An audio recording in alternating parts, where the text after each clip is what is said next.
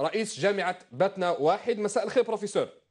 مساء الخير الأستاذ ياسر وأشكرك على هذا التواصل.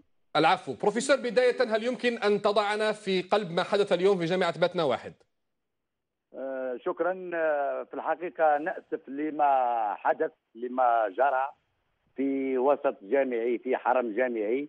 حدثت مناوشات بين الطلبة يحسبون على تنظيمين طلابيين. كما علمنا للأسف الشديد أن الحادثه يبدو أنها وقعت بالبارحة في حي جامعي. أثناء حفل مقام هناك يبدو أنها وقعت مناوشات فيما بينهم لكن تحول الصراع في البداية إلى الجامعة.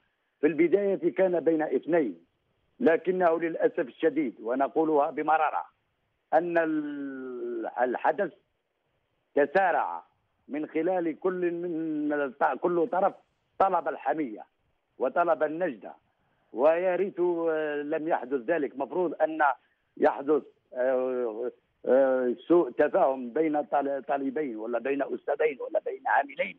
هناك قنوات هناك الحوار هناك نقل الانشغال وعلى الهيئات الأخرى والجهات الأخرى أن تتبنى ذلك بما تراه بالحكمة والموعظة والنصح. لكن للأسف الشديد حدث ما حدث. ونحمد الله على كل حال أنه في راجع في الإعلام ولا في جهات أخرى روجت بأن هناك تسعه ضحايا أو ما شابه العدد ليس كذلك. الضحيتان فقط وفي جروح بجروح خفيفة وقد تم آه، تواصلهم مع المستشفى وتمت مداواتهما وتم خروجهما من المستشفى. أنا الآن لما كلمتوني سيدي نعم. كنت في لقاء مع هذه التنظيمات كلها جملة جماعتهم كلهم بما فيهم الذين تسببوا في هذه المأساة. أنا أعبر عنها بالمأساة لأننا نحن نخبة ونكون نخبة. التي يفترض أنها تكون في الغد هي التي تقود نعم. هذا المجتمع في مختلف المواقع. لكن لا نملك إلا أن نتأسف. لكن للإعلام حتى يعلم مواطنينا وأولياء طلبتنا وطلبتنا أن الجامعة لم تغلق. تم اتخاذ قرار لأن الأمر آه، خوفا أن يأخذ منحى أبعد.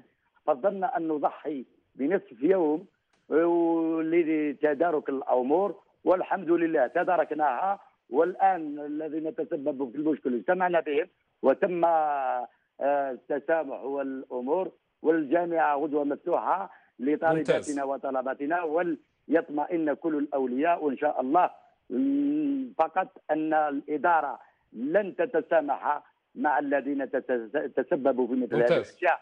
هذه الأمور لا نسكت عليها. ممتاز. بروفيسور عبد السلام ضيف رئيس جامعة باتنا واحد. شكرا على هذه المداخلة الهاتفية.